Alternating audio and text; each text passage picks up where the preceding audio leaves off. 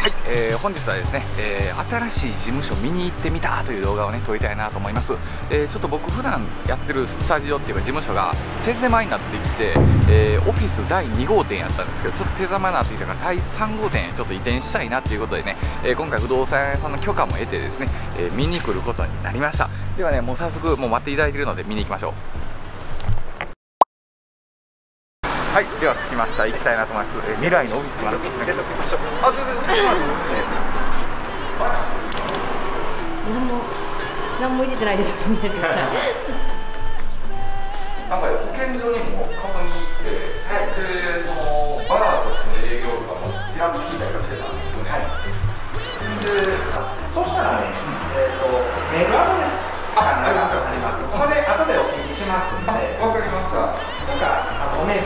かなんかありますそこにちょっと送っときます下から2番目のところに書いてあるんでそうですね。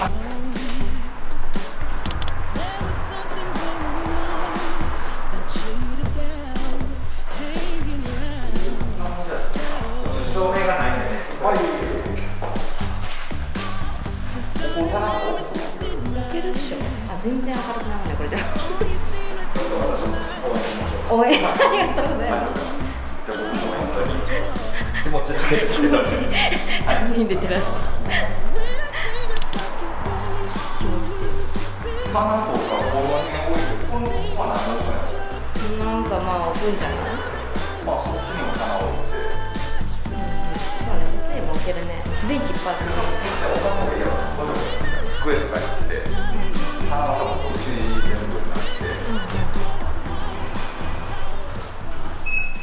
明るめちゃくちゃ明るいですねこっちはおけ取ったらちょっとね光ああ確かにあドアがなんかすごい歴史を感じるこれは外やったな、うんうん、これ冷蔵庫かああそうだね。どんな感じ？そして見てもらっていい？けど特に何もないけどなんか置けるとかでもなくここから外出れるってわけでもなく。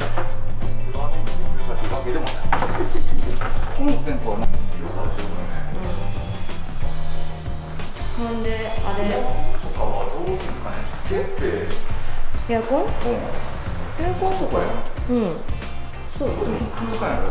抜け抜け状態だよねまあ、なんかつけるんじゃない？ロールスクリーンつけるとか、うんうん、はい、ちょっと空気が抜ける道だけ防げば十分エアコンは効くと思いますけど。カーテンみたいなのつけて、うんうん、それやったらこっちにカウンタ。ーうんうんうん。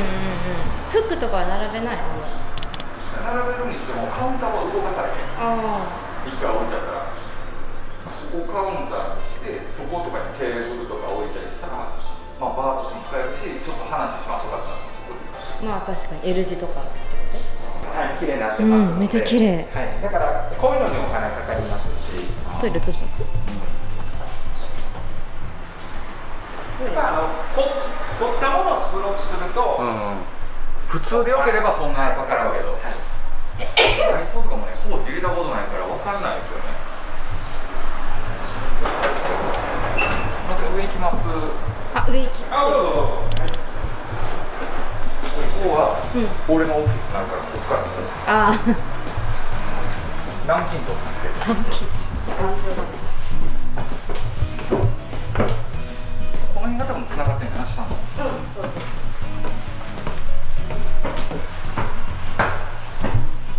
もう謎のここの空間にうん、まあ、ここも板板張ればいいじゃん。ものじゃな。くてここ見せんかなあいいの、うん、お客さん来おへん。メンバーシップの人ぐらい。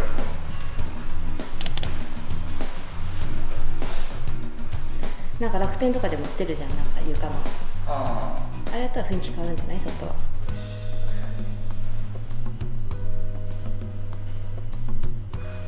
ここが多分撮影スタジオやな。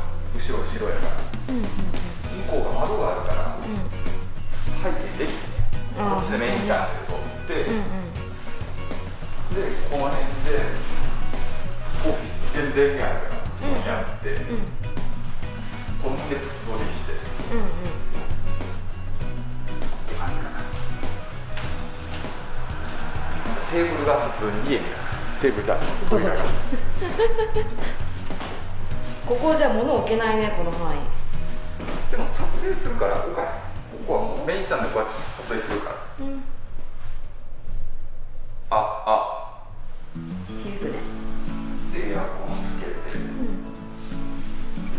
うん物置けば響かんか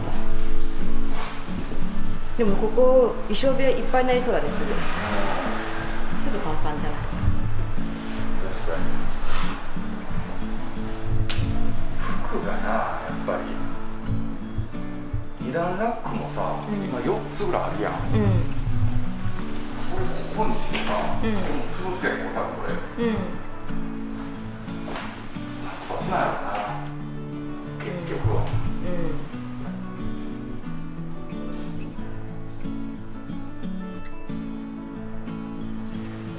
ぐらいあるのかな10ぐらいあるんじゃ10ない？ぐらいあるかな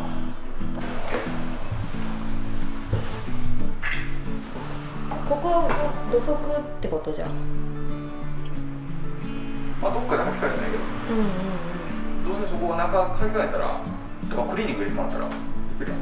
確かに。ここもだから上から振り替えたりローラー動かしにくない？だってラップとか動かしにくない確かにこれカーペットめくったらええねうん。カーペットでなんかやればいいんじゃないこれ何置くここなんかこうね銀のタイあいいじゃん俺もどこを持ってるちょっとやっぱり年間ねまたありがとうございますいろいろ見せましてあはいということでね見てきました、えー、嫁さんカメラマンありがとうございました。イメージどう？湧きそう。